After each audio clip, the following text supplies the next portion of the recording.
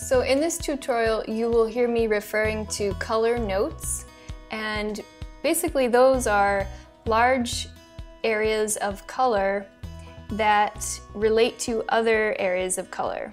And so I think of a note as also like a musical note, and you want to have all of your notes in harmony with each other. Now, one thing that we want to keep in mind though while we are painting the yellow block is that even though our brain knows that it's a yellow block, the different sides of the block are different colors. So this side is more yellow than this side here, which is almost a bluish green in relationship to this side here. So we want to keep in mind again that even though the block is yellow, our brain knows that the block is yellow, but we are painting an experience of, of light. And I'm going to talk just a little bit about color mixing. And to do that, I want to show you a, a color wheel here. And it has the six main color families on it. And so we have yellow, orange, red, violet, blue, and green. And within each color family, there is a warm and a cool pigment. Actually, there are many, many different pigments that could fall within this range, but if you have a warm and a cool version of these colors, then you can mix many, many things. If you want to mix a very saturated green, then you would choose the yellow that's closest to green on the color wheel. So it would be your lemon yellow. And you would choose the blue that is closest to green on the color wheel, eh, which is your phthalo blue.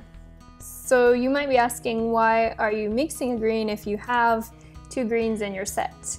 Well, the, the greens that you have in your set are Viridian and Sap Green, and neither one of those is a really bright yellow green. So if, if you're wanting a green that's a really bright yellow green, then again you would want to mix your lemon yellow with just a little bit of phthalo blue.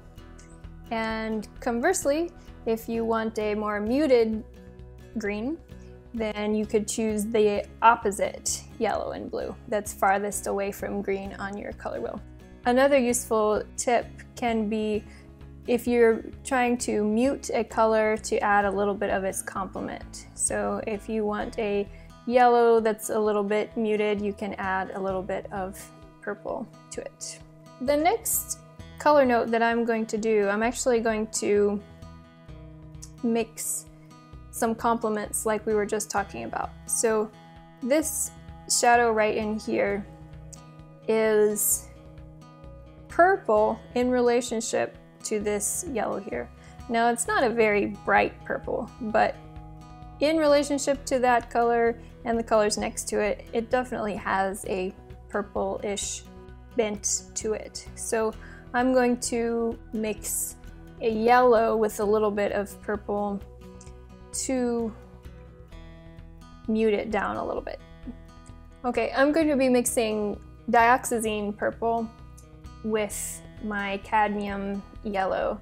And dioxazine purple actually does not come in the Cotman watercolor set, but it might be a good supplemental color to add.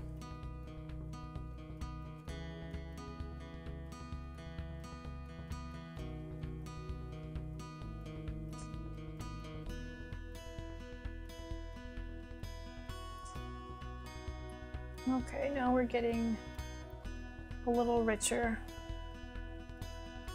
And I'm gonna go ahead.